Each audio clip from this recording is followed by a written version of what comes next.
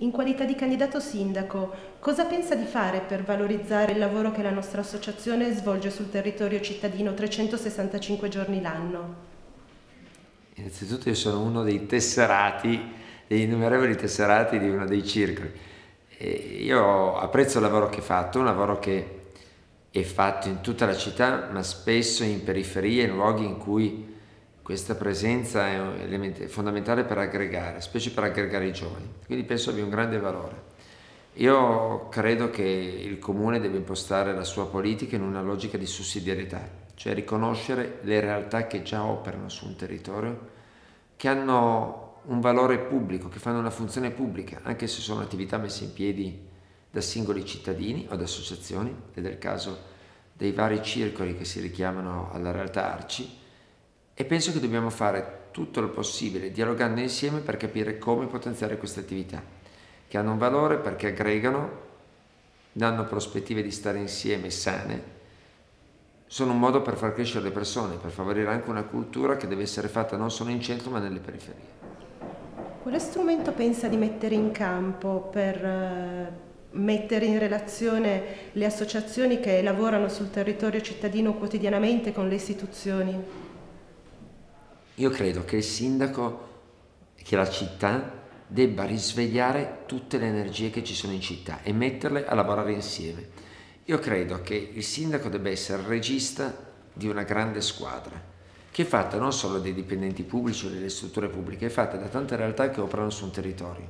Allora, noi abbiamo il problema tu, di metterle in rete. Io vorrei che tutte le realtà lavorassero insieme. Faccio un esempio.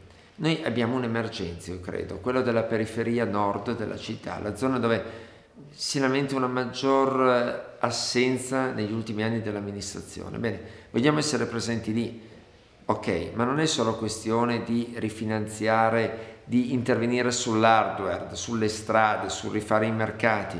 Dobbiamo capire con gli operatori del settore che offerta culturale possiamo fare, che offerta aggregativa possiamo dare ai giovani, come possiamo aiutare la gente di quel territorio a vivere complessivamente meglio, che non è data solo dalle infrastrutture, ma è data complessivamente dall'offerta di vita, di cultura, di aggregazione che portiamo in quella parte di città.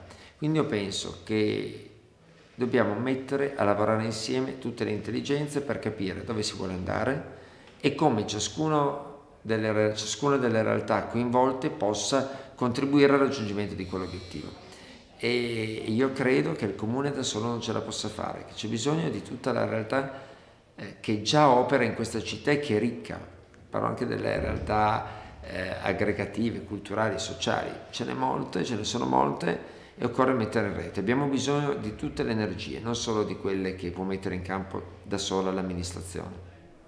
Come pensa di dare sostegno a quelle organizzazioni laiche che operano sul territorio esattamente come le organizzazioni cattoliche? Io non credo che si debba fare una guerra di religione o discriminare le realtà o trattare diversamente in base al fatto che abbiano una vocazione eh, di una religione o di un'altra, che siano cattoliche, valdesi, islamiche o che siano realtà laiche che fanno riferimento a partiti di un colore o di un altro. Io credo che il sindaco debba, di una città deve essere un sindaco di tutti, in dialogo, in grado di vedere eh, la realtà per quello, le varie realtà, le varie associazioni per quello che fanno e per quello che danno alla comunità, a prescindere dalla matrice che le ha generate o dai valori che le animano. E io penso che il sindaco deve trattare tutti con lo stesso principio, cioè il principio di equità e giudicare le realtà per quello che fanno, non per eh, le, radici, le radici che hanno. Quindi eh, questo lo dico e lo credo. Cioè, un conto sono i valori che ciascuno ha, che io ho e che come sindaco manterrò, sono i miei valori. Un conto è la funzione di amministratore della città, non amministri soldi tuoi e non eserciti poteri tuoi, eserciti poteri e soldi che sono nelle tue mani per un mandato che hai avuto dagli elettori e devi rispondere all'interesse di tutti. Quindi non eh, non amo questa distinzione cattolico-laico di, di, un, di, centro, di sinistra, di destra, musulmano o cattolico. Cioè, penso si deve guardare tutte le realtà con gli stessi occhi e rispettandoli per quello che fanno. Come intende attivarsi per tutelare quelle associazioni che sul territorio danno sostegno all'ingresso dei giovani nel mondo del lavoro? Anche qui credo che ci si debba sedere insieme per capire cosa l'amministrazione può fare per sostenere tante associazioni che rappresentano anche un'opportunità occupazionale per tanti giovani e non solo e che hanno una vocazione ad aiutare la città a crescere dal punto di vista culturale, dal punto di vista aggregativo. Io penso che dobbiamo sederci insieme e decidere quello che l'amministrazione può fare, capire cosa l'amministrazione può fare So che le, le regole le norme impongono vincoli burocratici sempre maggiori, ebbene perché non immaginare che l'amministrazione favorisca la nascita di uno sportello, di un servizio comune per aiutare le imprese, qualcosa che sgravi le associazioni, eh, specie quelle più piccole, meno strutturate, in macro associazioni, da una serie di adempimenti. È una cosa che si può fare, una cosa che si può fare a basso costo. Cioè, Penso che l'obiettivo sia quello di salvaguardare questo patrimonio di ricchezza che abbiamo nelle città, rappresentato dalle associazioni che operano sul territorio, dalle tante forme di volontariato che ci sono. Cioè, c'è una società civile che da sola si organizza e fa tanto per la città. Eh, condividiamo un obiettivo, cioè quello di salvaguardare e potenziare queste attività? Sì. Le norme nazionali poste in questi ultimi anni ci aiutano? No, vanno in senso diverso, rendono più pesante la vita eh, anche e ciò è ancora più grave in pendenza di una crisi economica forte. Bene, l'amministrazione può fare delle cose, può rendere eh, meno gravosi questi adempimenti, può aiutare eh, tecnicamente a superarli? Penso di sì. Valutiamo quello che l'amministrazione può fare sul piano pratico e facciamolo. Come intende affrontare il tema dell'inclusione sociale per i rifugiati, eh, soprattutto visto l'attuale periodo di grande emergenza? E quali pensa che debbano essere gli obiettivi da raggiungere al termine di questi percorsi di inclusione?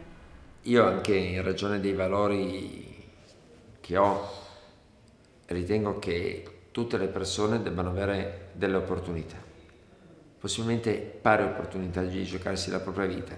E a me colpisce, ha colpito quando sono andato a visitare il campo nomadi di Lungostura Lazio, e vedere quei bambini che giocavano nel fango al freddo e mi sono detto certo che come è strana la vita se nasci da una parte di lungostura eh, hai una vita con certe opportunità se nasci dall'altra il mondo cambia radicalmente io penso che un mondo giusto e qui io credo questo sia uno dei motivi per cui io sto nel centro-sinistra un mondo giusto dovrebbe dare a tutti le stesse possibilità di giocarsi la propria vita a prescindere dal luogo in cui nascono Sappiamo che non è così, io penso che la pubblica amministrazione debba tendere a questo fine.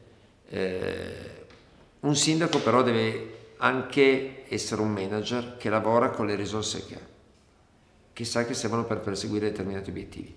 Il comune e il sistema Torino non può rispondere a tutti i bisogni. Se rispondesse a tutti, qui verrebbero tutti a cercare risposte che non danno in altri comuni.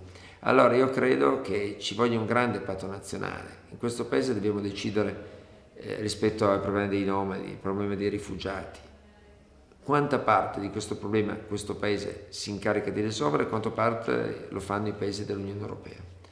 dentro quello che fa l'Italia questo, questo questo modo eh, onere, perché è onerosa questa cosa, va ripartita tra tutte le amministrazioni.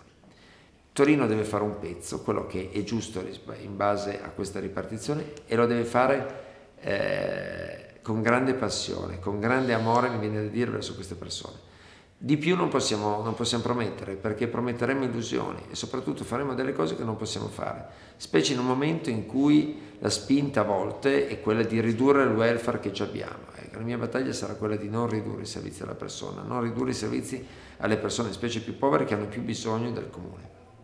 Per finire le lasciamo un, uno spazio per dire a tutti i nostri 60.000 soci ciò che desidera. Domenica 27 febbraio i cittadini di Torino hanno una grande opportunità.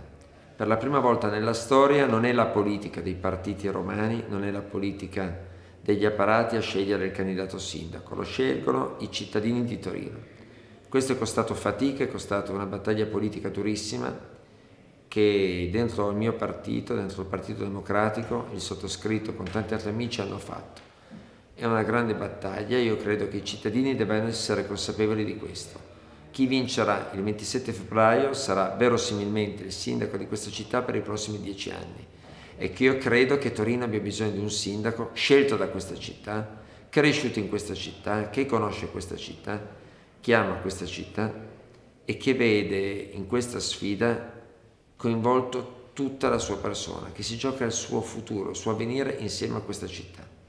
E penso che ci sia una grande opportunità il 27. I torinesi scelgono il loro sindaco e lo scelgono al di là delle imposizioni romane, al di là delle logiche partitiche, al di là dei ragionamenti della vecchia politica. Io mi propongo e voglio essere un sindaco scelto dai cittadini per portare avanti Torino, perché amo la città, l'ho vissuta, ho costruito in questi anni questa città, mentre altri non c'erano, io c'ero, ho lavorato insieme a Castellani, insieme a Chiamparino per migliorare questa città e penso che questa città abbia in sé i talenti e le energie per andare avanti senza che qualcuno venga a spiegarci cosa dobbiamo fare perché lo dobbiamo fare.